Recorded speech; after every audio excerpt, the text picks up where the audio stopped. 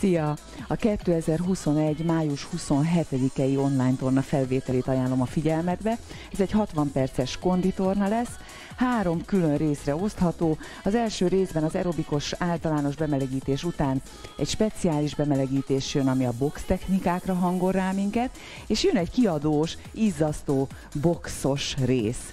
A második harmadában az órának plank kiinduló helyzetből törzs és lábemeléseket végzünk. Itt a gyakorlatok könnyebb és nehezebb változatait is megmutatom, és az óra utolsó harmadában a talajon még farizom gyakorlattal és belső comb gyakorlattal folytatjuk, majd jön az alapos nyújtás.